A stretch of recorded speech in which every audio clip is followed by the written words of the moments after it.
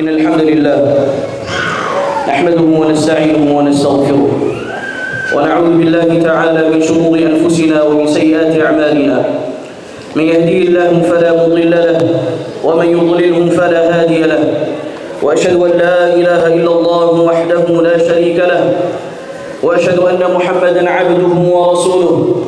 الله أكبر الله أكبر لا إله إلا الله والله أكبر الله أكبر ولله الحمد أما بعد فقد قال الله تبارك وتعالى في القرآن العظيم بعد أعوذ بالله من الشيطان الرجيم بسم الله الرحمن الرحيم يا أيها الناس اتقوا ربكم الذي خلقكم من نفس واحدة وخلق منها زوجها وبث منهما رجالا كثيرا ونساء واتقوا الله الذي تساءلون به والأرحام إن الله كان عليكم رقيبا وقال تعالى يا أيها الذين آمنوا اتقوا الله حق تقاته ولا تموتن إلا وأنتم مسلمون وقال تعالى يا أيها الذين آمنوا اتقوا الله وقولوا قولا سديدا يصلح لكم أعمالكم ويغفر لكم ذنوبكم ومن يطع الله ورسوله فقد فاز فوزا عظيما. الله أكبر الله أكبر. لا إله إلا الله والله أكبر. الله أكبر ولله الحمد. وقال النبي صلى الله عليه وسلم إن لكل قوم عيدا وهذا عيدنا. We begin by praising Allah subhanahu wa ta'ala and sending salutations upon the Prophet Muhammad sallallahu alayhi wa sallam. We have gathered here, dear brothers and sisters, on this blessed day. The blessed day of Eid as well of Jumu'ah. A combination of two Eids. Because, as the scholars mentioned, we have an annual Eid, i.e. Eid al-Fitr and Eid al-Adha. And we also have a weekly Eid. And the weekly Eid is the day of Jumu'ah. So it is from the mercy and the blessings of Allah Azza wa Jal that today we have gathered here for two joyous occasions. Number one, we have the blessing of Jumu'ah. And number two, we have the blessing of Eid al-Fitr. Now what is Eid al-Fitr about? Why do we celebrate Eid? The reason why we celebrate Eid is because we are thanking Allah Azza wa Jal that He gave us the opportunity to fast for 29 days and to stand in Qiyam for 29 nights. We thank Allah Azza wa Jal that Allah Azza wa Jal gave us the opportunity to witness another Ramadan. And this is why on the day, on the day of Eid, we gather here to express our gratitude to Allah subhanahu wa ta'ala. And also to ask Allah Azza wa Jal that Allah accepts the Ramadan that we have spent. We make dua to Allah Azza wa Jal that all of us who fasted in the month of Ramadan, who stood in Qiyam in the nights of Ramadan, we ask that Allah Azza wa Jal accepts our ibadat, that Allah accepts our Ramadan. And one important lesson of Eid, among the many, many lessons that Eid teaches us, is that shukr, gratitude, is not restricted to worldly blessings. Rather, gratitude is to do with spiritual blessings. The fact that Allah gave us the opportunity, the health, the time to fast in the month of Ramadan, we are expressing gratitude to our Creator because it is He who gave us the ability to fast in the month of Ramadan and to stand during the nights of Ramadan and all of the other acts of worship that we have carried out. However, very important reminder, and that is that the day of Eid, even though it is a celebration, Islam is a religion of balance. Another lesson that Eid teaches us is that there are celebrations in Islam, but that celebration must be guided by the sunnah of Rasulullah. That celebration is not based on the celebrations of the other people and the other communities, where their celebrations are based on entertainments. Their celebrations are based on the pursuit of desires. However, the beauty of the Sharia of Allah Azza wa Jal is that He has made celebrations in Islam revolve around the dhikr of Allah Azza wa Jal. How beautiful is our religion. That when we come for Eid, we recite the takbir, Allahu Akbar, Allahu Akbar, La ilaha illallah, Allahu Akbar, Allahu Akbar, wa lillahi alhamd. We are glorifying Allah. We are expressing how great Allah subhanahu wa ta'ala is. So this is what this day, the day of the dhikr of Allah Azza wa Jal. Celebration should be that you celebrate the mercy of Allah, the bounty of Allah, the forgiveness of Allah Azza wa Jal. Which is why in one verse of the Quran Allah Azza wa Jal says, قُلْ بِفَضْلِ اللَّهِ وَبِرَحْمَتِهِ فَبِذَلِكَ فَلْيَفْرَحُوا Allah Azza wa Jal says that the people should become happy in the bounty and the mercy of Allah Azza wa Jal. This is what you should be happy about. So the pursuit of desires is not a means of celebration. And this is a very important thing to bear in mind. That yes, today is a day of celebration. However, it should not be a day, it should not be a day where we sin, where we disobey Allah Azza wa Jal, where we forget the legacy of Ramadan. Which is why the scholars they mention, كل يوم لم تعص الله فيه فهو يوم عيد. Every day in which you do not disobey Allah Azza wa Jal, that is a day of Eid for you. So all of us have a personal day of Eid in a metaphorical sense.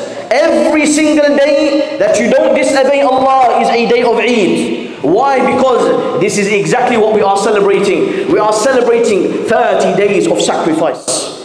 And to conclude, inshallah, because I don't want to prolong the khutbah, many brothers are waiting outside. To conclude, Eid, it reflects the hereafter. When in Jannah, we are all going to be gathered from the companions of Jannah. We make dua that Allah makes us from them. And we have hope that Allah Azza wa Jal will grant us entry into paradise. Say yeah, I mean with a bit more enthusiasm, brothers. When we enter Jannah, my dear brothers, we are going to be standing before our Creator. As the Messenger of Allah sallallahu alayhi wa sallam said, لِلْمُؤْمِنِ فَرْحَتان فَرْحَةٌ عِنْدَ فِطْرِهِ وَفَرْحَةٌ عِنْدَ لِقَاءِ رَبِّهِ For a believer, there are two occasions of happiness the day of fitr, and this can refer to the moment you break your fast in Ramadan, and it can also refer to the day of Eid al-Fitr, which marks the end of Ramadan. That is a happy day for a believer. But the second happy occasion is when you meet your Creator. May Allah make us from those people. So subhanallah, the day of Eid reflects the akhirah, reflects the day that we are going to enter Jannah. It reflects the unity that we have. These are all the lessons of Eid. And the scholars they mention that Ramadan reflects the sacrifice that is needed in this world. Because in Ramadan there's a lot of sacrifices that we make. We sacrifice our sleep, we sacrifice our hunger and thirst. Many sacrifices are made. But after 30 days, 29 days of sacrifice, we are celebrating the forgiveness of Allah Azza wa and the pleasure of Allah Azza wa. In the same way, this dunya requires sacrifice. This dunya requires difficulty. And only those who go through that difficulty will be able to enjoy the occasion in the akhirah where we meet our creator, where we enter Jannah, where the angels will say, Salamun alaykum tibtum fadkhuluha khalidin. Peace be upon you, you did well, so enter Jannah residing therein forever and ever. This is what Eid teaches us.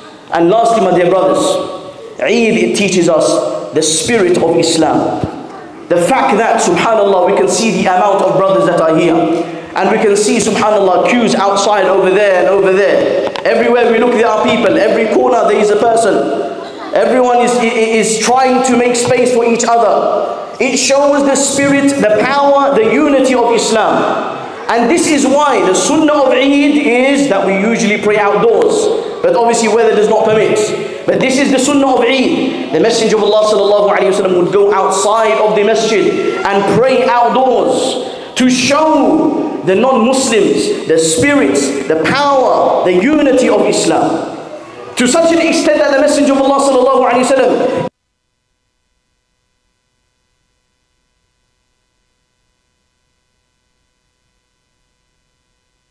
And this is what the day of Eid teaches us.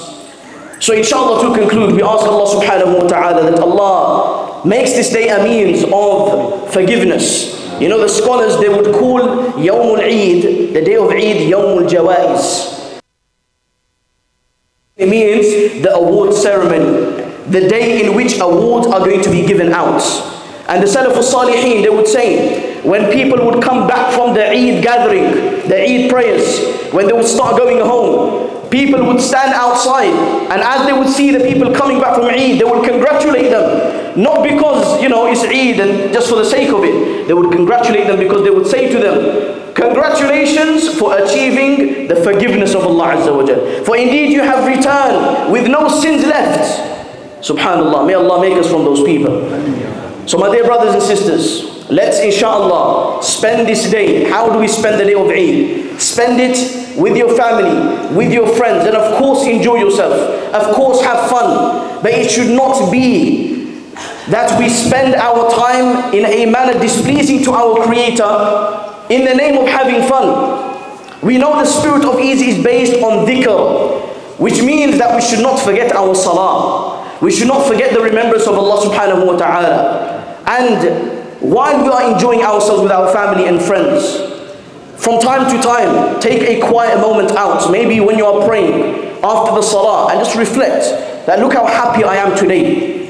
Just imagine how happy I will be when I enter Jannah, when I receive my book of deeds in my right hand. You are happy with your family right now, just imagine in Jannah. You are not only going to be re reunited with your family in this world, but you are going to be reunited with the family that have already passed on, that have departed from this world. Those family members that you have not even seen. As Allah mentions, وَأَمَّا مَنْ أُوتِيَ كِتَابَهُ بِيَمِينِهِ فَسَوْفَ يُحَاسَبُ حِسَابًا That those people who get the book, in, the book of deeds in their right hand, they will return to their family in a happy state. They'll be pleased and they'll be enjoying the company of their family members. And lastly, I would like to share with you a quote, a famous quote of the scholars, where they would say, لَيْسَ الْعِيدُ لِمَنْ لَبِسَ الْجَدِيدُ Eid is not only for those people who simply wear good clothes. إِنَّمَا الْعِيدُ لِمَنْ طَاعَتُهُ يَزِيدُ that Eid is for those people who their deeds increase, their act of obedience increases. May Allah subhanahu wa ta'ala bless us all. May Allah bestow His mercy upon us. May Allah forgive us on this blessed day. And may Allah subhanahu wa ta'ala grant us the ability to witness many more Ramadans in our lives. Bismillahir Rahmanir Rahim. Alhamdulillah, Nahmaduhu wa Nasta'inuhu wa Nasta'gfiruhu. Wa Na'udhu Billahi min shururi Anfusina wa min Sayyi'ati A'malina. Man Yahdihi Allah fala mudilla lah.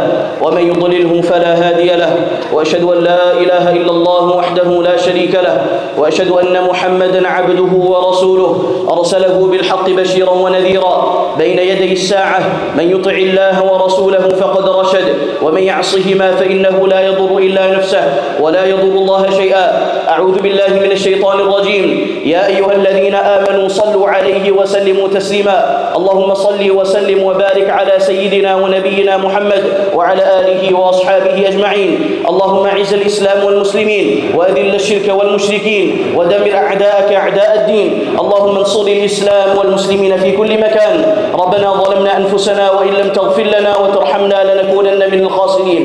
ربنا آتنا في الدنيا حسنة وفي الآخرة حسنة وقنا عذاب النار. سبحان ربك رب العزة عما يصفون وسلام على المرسلين والحمد لله رب العالمين.